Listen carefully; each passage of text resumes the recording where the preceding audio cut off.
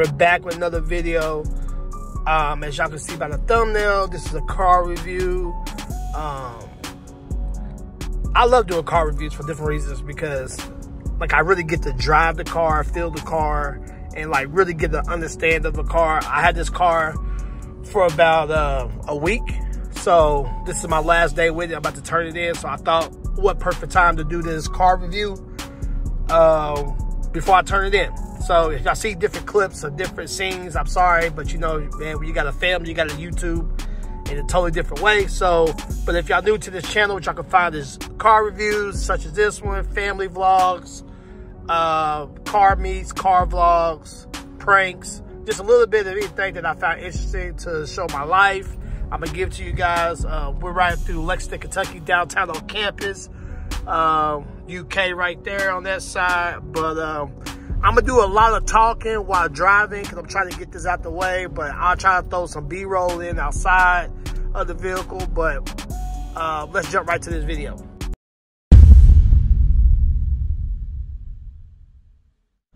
All right, so the first thing I'm gonna give you is everything on this side of the uh, cabinet. Then I'm gonna jump over there. Then I'm gonna jump into the third row, sec second third row. But right here, the first thing I'm gonna show, like this is a 2022 Ford Expedition Max. This is not the fully loaded one. Um, I'll put it in the description exactly the model trim and everything. It's on the back. I forgot because I, am a Dodge guy, so this is this is coming from a Dodge perspective. Um, I drove. Y'all go back in my videos. I drove uh, a Dodge Durango SUV. So this is just a comparison to like anybody who don't know if they want to go Ford, if they like Ford or what Ford has to offer. But um, next, I'm, I'm gonna do one of these reviews on this truck right here, the GMC version. Not only we're gonna do that next, but for the most part, uh, first thing I want to show y'all that I love the most is the different drive modes. So you got Eco right there. You have, hit it again, Sport, which I'm gonna give you a little bit of each one that I like. Sport, obviously, you get more power, you get more torque, you get the fat. The fat I'm talking about it's night and day difference driving from eco and sport. You get that that takeoff that everybody likes in sport mode. Um, what else? Uh, that's pretty much it. And it changes the cluster. The one thing I like about this car, every mode, the cluster changes. So that's pretty nice. Rupp Arena right there for the people who new to this channel. Yeah, we are BBN for real. So anyway, let me go to normal drive mode. That's when you start the car up, that's what you get. Sport mode, the steering wheel gets a little tighter. Now that I'm back in, um, now that I'm back in normal, it got a little loose.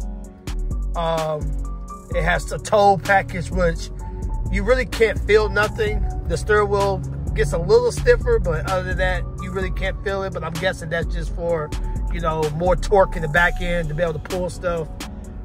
Uh, next mode we got is uh, slippery. Now, I, I used this the other day. I don't know if I have a video of that. I can't remember if I did or not, but it was raining. And when I tell you this car didn't slip one time in the rain, um, and this is coming from people who drive rear-wheel drive vehicles, like I do not even drive my car in the rain. Like I refuse to drive my car in the rain because I'm scared. Call me what you want, but I'm scared. So that slippery mode was definitely great. It tightens up the steering wheel for you. Um, I really can't tell, explain it what it does, but you just get a, a different type of feel in the steering and in the column and the and the brakes get a little bit more sensitive too as well. Um, jump over to the next one. So that was slippery. We got trail, which obviously I guess that's the, if you taking this bad boy rock climbing, I guess it's gonna enable four-wheel drive. As you can see, the traction control turned off. The gauges changed color as well. So that is uh, trail, eco. Hold on. And we go, when you change the eco, it turns green. And this is what I've been driving in. Um, eco has saved me on so much gas which I'm about to go to the gas station. I'm about to show you how much it costs to fill this bad boy up. But uh, yeah, Eco's definitely makes a difference in the gas and how much power you got and all that good stuff. Um, far as the steering, it doesn't really change the steering, but those are the drive modes. Next, we're gonna get into the cluster. As you see, eh, this bad boy has 10 gears. You also can turn it into manual mode, which is what I like the most. And you can, and there's buttons down here. Let me see if I can show you. There's buttons down here to plus and minus right there. So you gotta hit the plus. You gotta change the gears. That's three. But I'm gonna go back into auto. That's how you change it back. Um, I don't know why you use that for. Maybe if you in some snow or different elements, but it's there. Um, these also have bending mirrors in. Let me show you guys that. You can you can fold the mirrors in. I like that feature. And it has the blind spot monitoring. Once I get next to a car, I'll show you that. Uh, but my favorite thing is this screen. Once I do my research on this screen and tell you how big it is, but that's like that's a baby monitor right there. Uh, Apple CarPlay. Uh, it has nav on it. Um, and it has Bluetooth Apple CarPlay, which that's something new too that I, I did not know that that was a possible thing. Those cars, you have to have your phone plugged up, so I like that. It also has, uh, hold on, let me pause. All right, guys, sorry to do this in the dark, but you know, when you got a family, like I said, it's hard to YouTube, but um, that right there is a wireless charger. You have your Type C, and you have your USB all right there nice, easy to access. Uh, let, us get back over here. So I, I, I'm kind of skipping around, guys. My bad. I'm sorry. But over here, you got your cruise control, and this is your lane assist right here. Basically, this helps you stay in the lane. So if you have this on, when you veer over, and it shows you right there that I'm in the middle. So watch this. When I get over here, it's going to pull the car back to the middle. I love that feature. You can turn that off and on. Um, it does mess with you in like construction areas and stuff like that. So as long as you're aware of your features, you can turn it off and on and use it. Um, over here is just menu buttons to to go back and forth to the, you know, all in the cluster. There's really no point to go to that because it's very basic side. You have three different memories uh, seats that you can have in the car. I love that feature. Uh, also over here, you can fold down the second row seats. You can open up the power tailgate right there. You have your adjustable pedals right there as well. You also have your um, your your light switches right there on the left hand side. Everything's reachable. Um, and you can turn up the brightness, everything right there. So as I said, guys, I apologize if this is a fast review. Um, any questions that you got, drop a comment below that I didn't cover. I promise I'll answer it. Uh, this this vehicle is, is equipped with heated and cool seats. Heated seats. Y'all see I got my heated seats on. Cool seats right there. You also can control the rear the rear um, AC control unit back there. As y'all can see that it's off right there guys. So we back with the outside view. Give you this real quick. We got some 20 inch, 275, 65. Oh, excuse me, 18s on there. The platinum version comes with 20s, but these are 18s. Um, you got your automatic um, code to open the door when you have that. I'm gonna show y'all how to beat that in one second. Then you got your your lights underneath that, underneath the the um, the side mirror. And one thing I like about this you see these ridges on this door? You, if, if once the car is locked, you can come over the keys in your pocket and open up any door. It does have to be this one.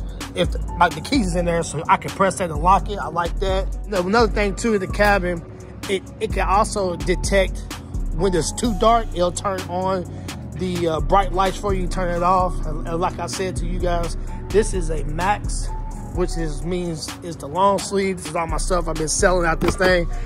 This is the Max. This is the XLT version, which is still nice. You got the black leather. So you got your black leather seats. Uh, every You can fold down the seats right here. Power down third row. I'm, yeah, I ain't gonna show y'all that. Y'all know what the third row is. But you got all your USB Type C. It also has uh, the the you can plug your stuff up for like a fast charger, cigarette charger, storage, cup holders, cup holders in the door. Oh, and one thing about this that I do like, let me show you. Power tailgate. And you also can fold down the seats right here. So second row, boom. Second row, boom. And the third row, you can do it as well. It's power. I'll break it out. That's power, but yeah. Nice, man. Nice. Got car chargers back here for third row. Uh, the people back here can flip down the seats right there. Like I said, this power tail tailgate. And, uh, you know, nice truck, man. Nice, nice.